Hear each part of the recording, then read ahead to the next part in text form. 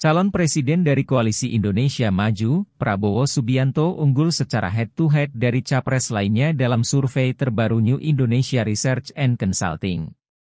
Prabowo dinilai mampu menarik ceruk suara pemilih dari capres Koalisi Perubahan untuk Persatuan, Anies Baswedan sehingga mampu kandaskan elektabilitas Ganjar Pranowo.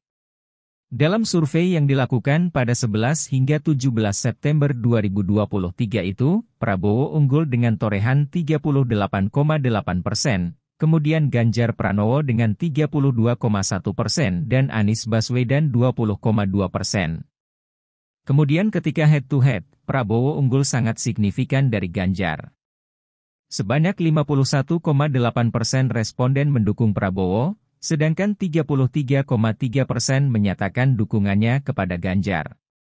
Direktur Eksekutif New Indonesia Research Consulting, Andreas Nuryono menjelaskan jumlah elektabilitas Prabowo meningkat hampir setara dengan Anies di simulasi tiga nama.